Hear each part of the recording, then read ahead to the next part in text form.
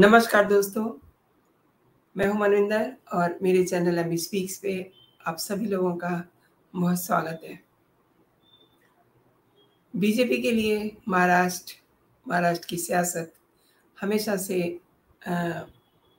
बहुत इम्पोर्टेंट रही है।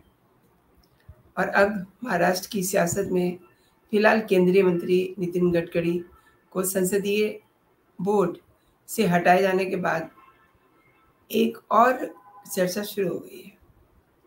कुछ लोग इसे गडकरी के राजनीतिक पतन की शुरुआत कह रहे हैं।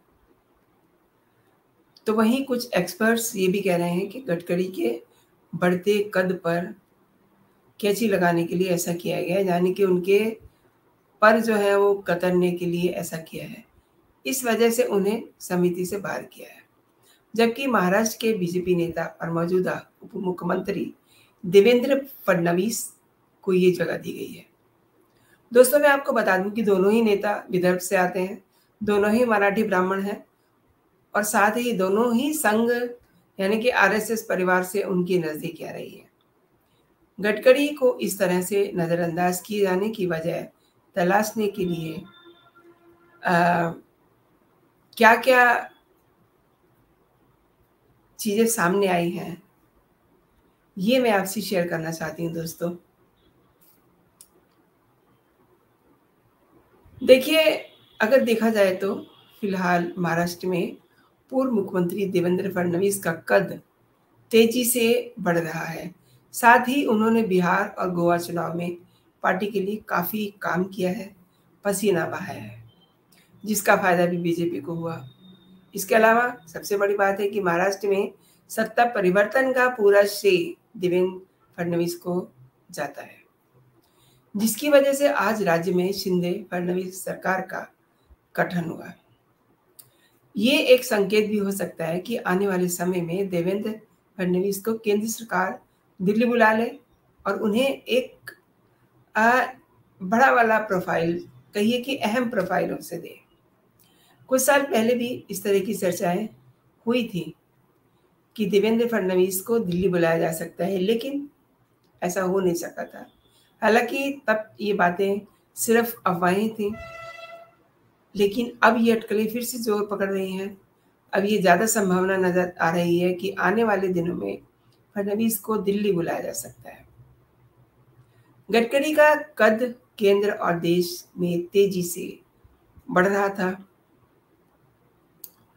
आप इशारे समझिए मतलब और साथ ही गडकरी और फडणवीस दोनों ही विदर्भ से आते हैं।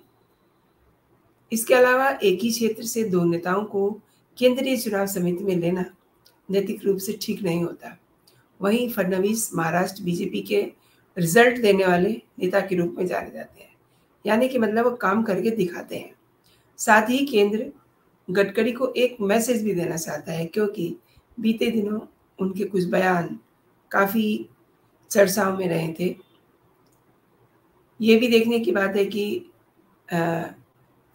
ये एक राजनीति भी हो सकती है, जिसे महाराष्ट्र से दिल्ली जाने की सूरत में देवेंद्र फडणवीस के विकल्प के तौर पे राज्य में बीजेपी के चंद्रशेखर चंद्रशेखर बावनकुले चंद्रशेखर बावनकुले और सुधीर मुनगंटीवार या आशीष शेलार जैसे नेताओं को पावर दी जाए।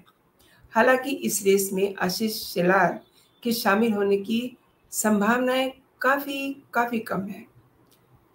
इसका उदाहरण खुद विनोद तावड़े हैं, जिन्होंने महाराष्ट्र की सियासत से पहले जिन्हें अलग कर दिया गया था और बाद में उन्हें केंद्र में अहम ज़िम्मेदारी दी गई थी।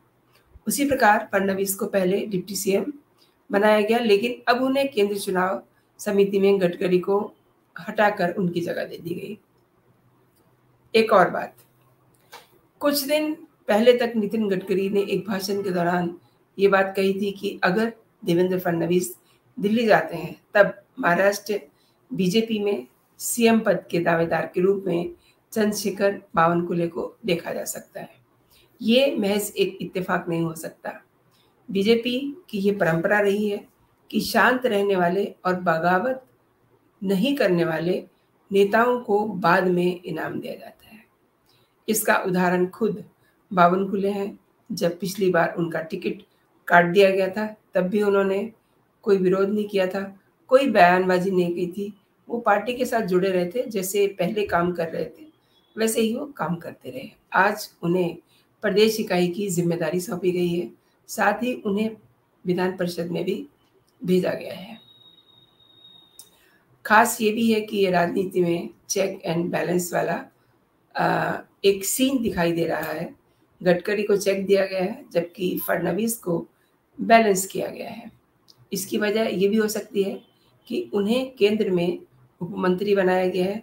शायद उन्हें इस पद के ज़रिए संतुलित करने की कोशिश की है। इसके अलावा महाराष्ट्र में फ़िलहाल फडनवीस को ज़्यादा पावर इसलिए भी दी जा रही है क्योंकि महाराष्ट्र में बीजेपी खुद को सेवन परसेंट पावरफुल दिखाना चाहती है मज़बूत करना चाहती है ताकि उन्हें किसी पे निर्भर ना रहना पड़े। आप समझ रहे हैं कि चुनाव आ रहे हैं। वहीं गडकरी को एक संदेश देने की कोशिश की गई है कि आ, कोई ये ना समझे कि संघ परिवार का करीबी होने का उन्हें फ़ायदा भी मिल सकता है। ये बहुत बड़ा मैसेज है कि अगर वो आरएसएस से जुड़े हुए हैं तो ज़रूरी नहीं है कि उन्हें इसका फ़ायदा भी मिलेगा। एनसीपी नेता क्लाइड क्रास्टो ने ट्वीट करके बीजेपी पे तंज कसते हुए कहा कि एक कुशल राजनेता के तौर पर नितिन गडकरी का कद कई गुना बढ़ गया है।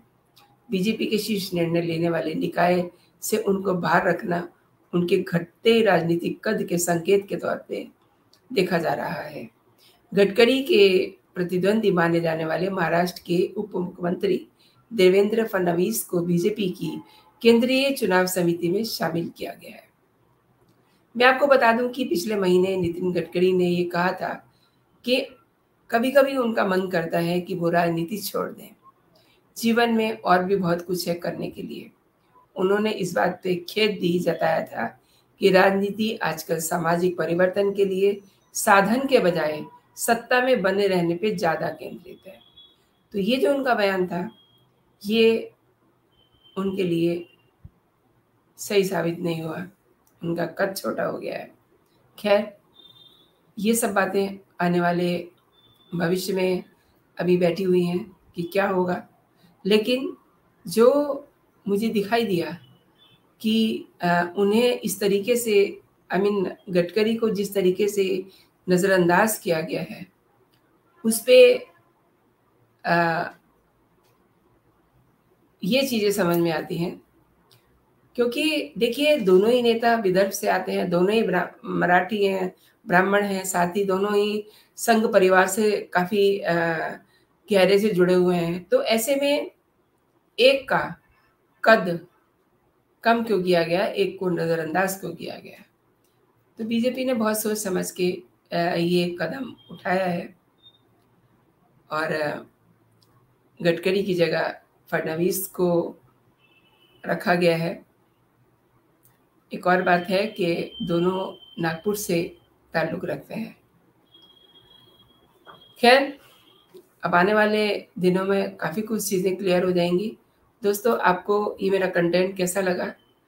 आप मुझे मेरे कमेंट बॉक्स में ज़रूर बताइएगा। और अगर पहली बार आप मेरे चैनल पे आए हैं तो आप मेरे चैनल को सब्सक्राइब भी कर सकते हैं और इसको लाइक भी कर सकते हैं। जैसा कि मैं हमेशा बताती हूँ कि सब्सक्रिप्शन पे, सब्सक्राइब करने पे कुछ नहीं जाता है। बस मुझे ये लगता है कि आप मेरे काम को पसंद कर रहे हैं।